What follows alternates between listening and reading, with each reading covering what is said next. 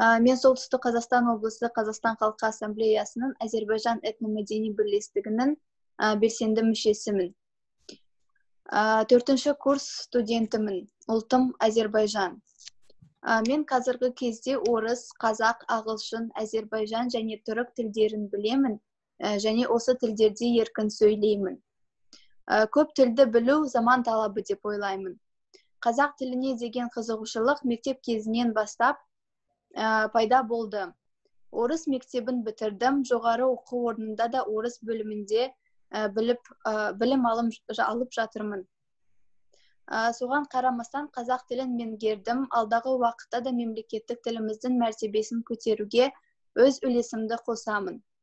Дана халқымыз өзге тілдің бәрін біл өз тіліңді құрмете деп бекер айтпаған.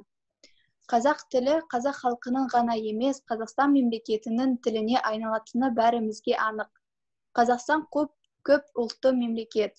Қазіргі кезде елімізде 130-дан астам ұлт өкілдері бір шаңырақтың астында өмір сүреді.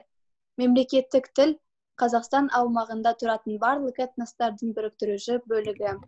Өйткені олар қазақстан халқының бір тұтас отбасына айналды. Мемлекеттік тілді білу өмір талабы заман сұранысы қоғам қажеттілігі. Президент қасым жомарт тоқаев айтқандай қазақ тілі біздің қоғамда сұранысқа ие болуы тиіс. Олай болса тілді өмірдің барлық саласында қолданып аясын кеңейту жолында әрбір қазақстандық өз азаматтық міндетін атқаруға қажет ойымды елбасымыздың сөздерімен аяқтағым келеді. Мен бүгінгі ұрпақтың үш тіл білуін қолдаймын. Мемлекеттік тіл мемлекет құрушы ұлттық тілі ал орыс тілін білу ұлы байлық. Ағылшын тілі ілгерушілік пен технологиялардың тілі болғандықтан біз оны үйренуге тиіспіз. Ал қазақ тілі барлық қазақстанды біріктіріп жақындастырып өзара түсіністік пен сүйіспеншілікке жетелейді.